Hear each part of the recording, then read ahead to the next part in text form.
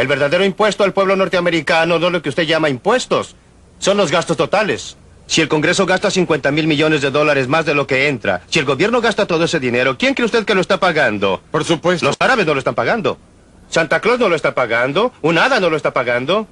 Eh, usted y yo, como contribuyentes, lo estamos pagando indirectamente a través de la tributación oculta. Su punto de vista. Y por eso el punto crucial es reducir los gastos totales del gobierno desde el punto de vista de la inflación, desde el punto de vista de la productividad.